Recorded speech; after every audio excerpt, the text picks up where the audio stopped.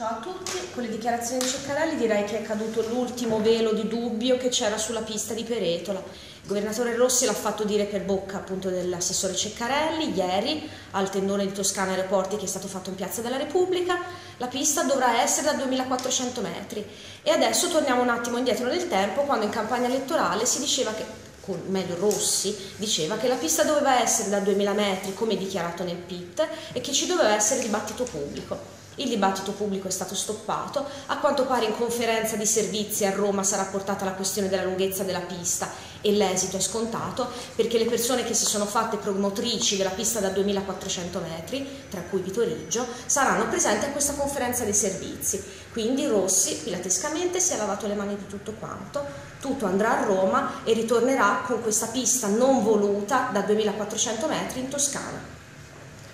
In questo momento storico la nostra regione è soggetta a trasformazioni infrastrutturali e impiantistiche molto importanti. Noi riteniamo strategico attivare tutti i percorsi partecipativi, quali per esempio il dibattito pubblico, per una serie di motivi anche economici. Non lo diciamo solo noi, lo dice anche il presidente dell'autorità anticorruzione Raffaele Cantone durante un'audizione in commissione al Senato e rilevava la necessità di attivare il dibattito pubblico anche per limitare la corruzione, oltre che i costi interi dell'opera che sappiamo lievitare per problemi di ritardi quando la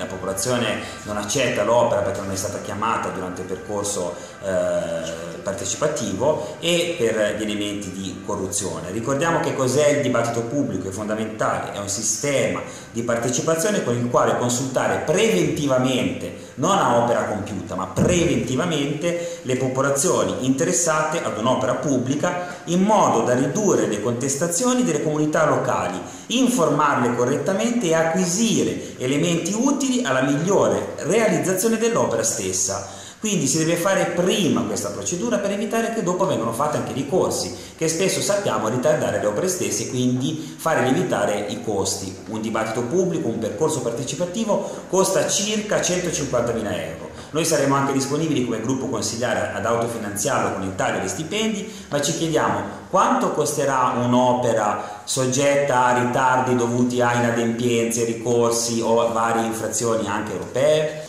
Che cosa abbiamo fatto noi in riferimento alla necessità prevista dalla normativa esistente di attivare le procedure e i processi di partecipazione dei cittadini? Da subito abbiamo chiesto l'attivazione del dibattito pubblico e questa proposta ci è stata bocciata dallo stesso PD che esso stesso aveva votato e approvato le leggi sulla partecipazione e in particolare il piano di indirizzo paesaggistico territoriale che prevede sull'aeroporto di Peretola esplicitamente l'attivazione del dibattito pubblico. E lo devo leggere. Allo scopo di dare effettiva applicazione dell'articolo bla bla bla, della disciplina generale del PIT la regione promuove l'attivazione del dibattito pubblico quale già istituito dalla legge regionale del 2007 tra l'altro sui progetti concernenti la qualificazione dell'aeroporto di Firenze e forma il parere di propria competenza nell'ambito del procedimento di valutazione di impatto ambientale ad essi relativa con riferimento anche agli esiti del dibattito pubblico e quindi era già previsto la normativa. Noi abbiamo chiesto che fosse applicata la legge e ci è stato bocciato. Abbiamo mandato una lettera all'autorità sulla partecipazione chiedendo il perché avesse bocciato la richiesta di due sindaci. Uno è già bocciato quello del, del comune di Pisa, l'altro è in via di bocciatura, eh, sono, stanno valutando le carte, sembra che Toscana Aeroporti ritardi nel dare eh, documentazione riferimento a questa richiesta del sindaco di Calenzano.